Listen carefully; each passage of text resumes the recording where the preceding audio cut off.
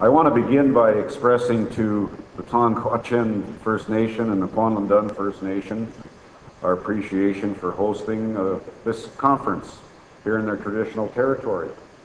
And I also want to warmly welcome all of you here to the first ever Canadian Science Writers Conference held here in Yukon and indeed in the North. Uh, some special acknowledgements. Uh, unfortunately, Grand Chief Carvill of the Council of Yukon First Nations cannot be with us this morning uh, due to uh, a death in the family. Uh, I want to uh, welcome Chief Ruth Massey from the Ta'an Kwach'an First Nation, our Deputy Mayor, Janine Myrie, also uh, our President of Yukon College, Mr. Terry Weninger. Good morning, Terry. And of course, the gentleman I just met, the President of this fine association, Mr. Tim Lougheed.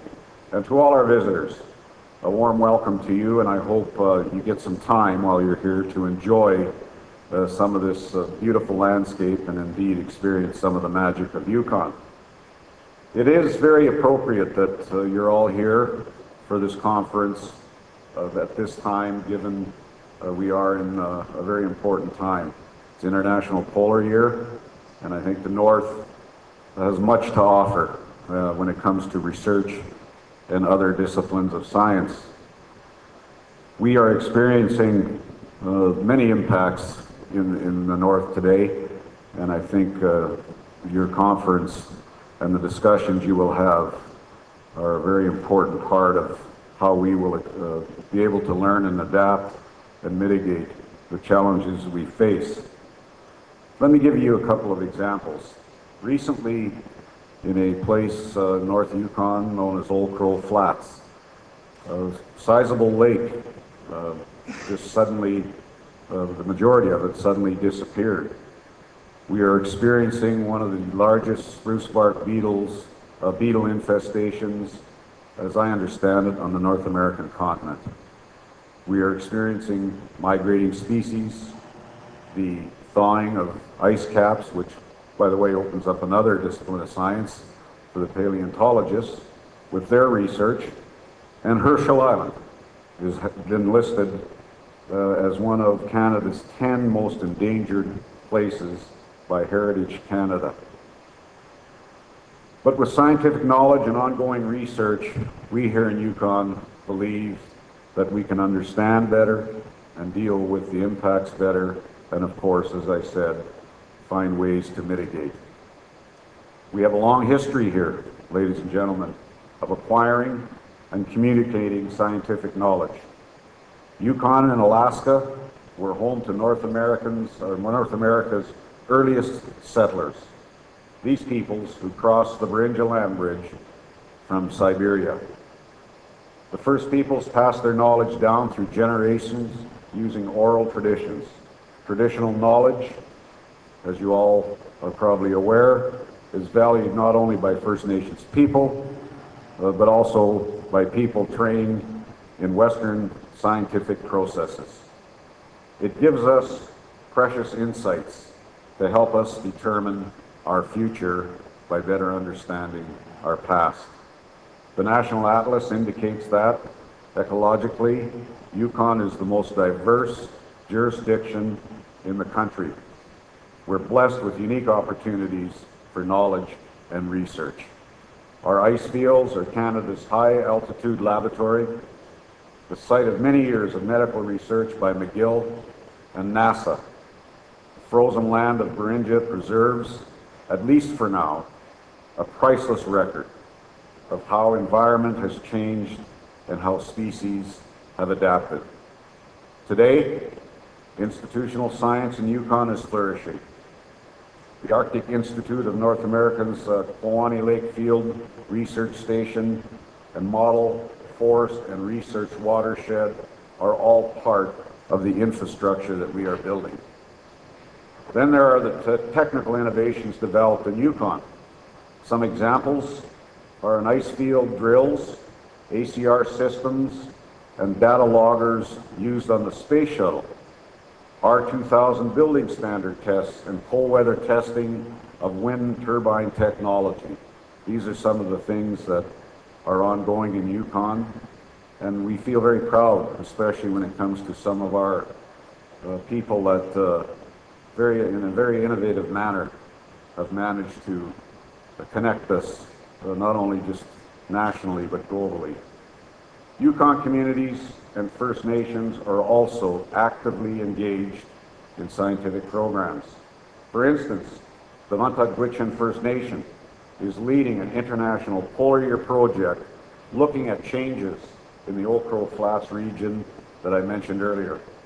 And in recognition of the significance of all this work, the Yukon government continues to enhance its scientific programs and support. We have moved forward with a climate change strategy, climate change action plan, and an energy strategy, and we are now engaged with Yukoners to get their input. But we're also proposing to establish a research center of excellence here at our college precincts with a focus on climate change adaptation that will initiate collaborative research, not just for Yukon, but for the country and the global community. Our future depends on knowledge that can only be acquired through scientific collabor collaboration, research, and development. That's why International Polar Year is so exciting for us. Together with First Nation, territorial, provincial, and federal governments, the Arctic Council, and others, we are building on this knowledge base and shaping a scientific legacy. So your role for us is critical. It's very important. For you, the science writers, can help tell this story here in Canada and across the world. I invite you to engage in the most detail possible. And I offer you, once again, a warm, warm welcome from Yukon. Thank you all for being here. Good health and good luck.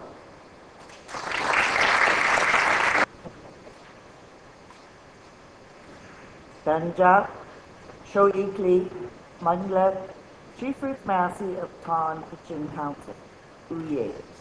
Good morning to all of you. It is indeed an honor and a pleasure to welcome you to the shared traditional territory of the Ton, Kitchen, and Kwanlin Dün First Nations. I am both humbled and excited to be in the pres presence of such noble and professional people. I understand that I am in the presence of the modern day science world and all the science writers. Growing up in the Yukon and on our land, I too come from a science world. Mine is called traditional knowledge. At a very young age, we are taught how to live on our land and to acknowledge all of our surroundings at all times. All of our teachings are oral. We were taught many observations, but never told why they were that way or the importance to us. We just had to learn it. Thanks to many of you in the attendance today, we have bridged the gap of knowledge with your writings and many programs you have provided to us and the world. I have read and heard about many scientific facts or translations of what I have already learned from the land and my surroundings, and I would like to thank you for the explanations and the education you have provided in the plain English language. Although some of your science language is beyond my education level. Growing up in the Yukon, I too have witnessed many changes in our area due to climate change. Two weeks ago, I had the opportunity to hear Dr. David Suzuki speak on the subject of climate change, and he definitely shed some light on the many current observations of change. Science research is a wonderful tool. Personally, I think you have the most intriguing and important jobs investigating the world of science. Now you need the world to listen and learn from you. Good luck to you on that matter, and I mean that in a good way. Once again, I thank you for the opportunity to be among your very presence, and I wish you a successful week and a wonderful experience while you are visiting our traditional territory, and I hope to meet some of you throughout this conference. Nathan. Thank you.